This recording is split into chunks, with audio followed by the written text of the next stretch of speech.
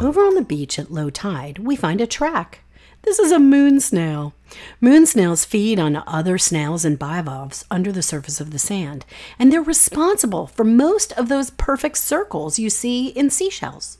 The snail drills in with a sharp tongue called a radula, eventually slurping out the critter inside.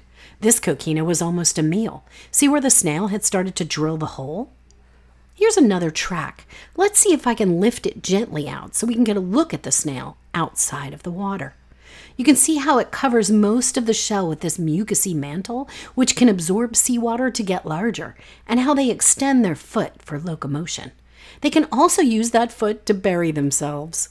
If they sense danger, they can extrude the seawater and completely retract into their shells, closing off the opening with an operculum, a hard sort of trap door to keep predators at bay.